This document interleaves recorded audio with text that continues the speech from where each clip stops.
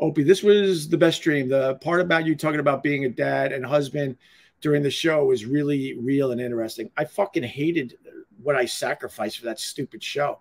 I fucking hated it. And I'll tell you why I did it because I was making ridiculous money.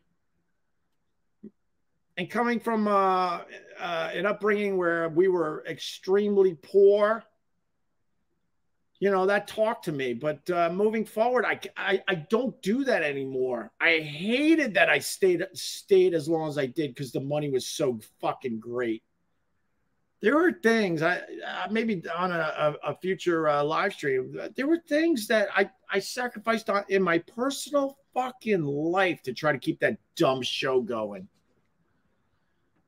And I said to myself, never again, man. I you know I've gotten so much closer with uh, with my uh, my kids and my wife. I mean, I was always close, but I I, I mean like more present, being there.